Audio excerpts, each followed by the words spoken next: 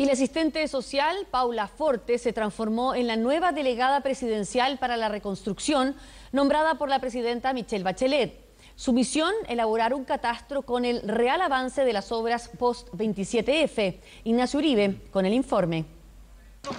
Su misión será recorrer las regiones y localidades que hace cuatro años fueron arrasadas por el terremoto. Deberá conversar con los damnificados y constatar en terreno cómo ellos han vivido el largo camino que se inició en 2010, cuyo objetivo era levantar nuevamente al país.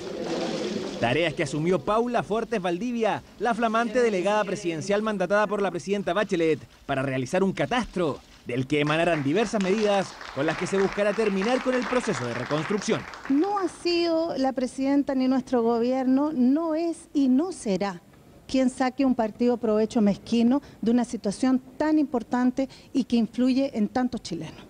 Tres meses tiene Paula Fortes para entregar el catastro encomendado. El objetivo tras eso es generar una reconstrucción, como dijo la mandataria, que vaya más allá de las obras construidas, proceso que a 2014 llegó a un 97% según la administración Piñera. Creemos que la reconstrucción va mucho más allá de las obras en concreto.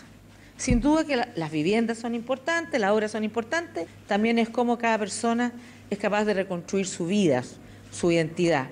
Forte será además secretaria ejecutiva del Consejo Ministerial que encabezará el ministro del Interior y que integrarán carteras como Salud, Educación y Vivienda, el ente encargado de terminar con el proceso de reconstrucción lo antes posible en el gobierno de Michelle Bachelet.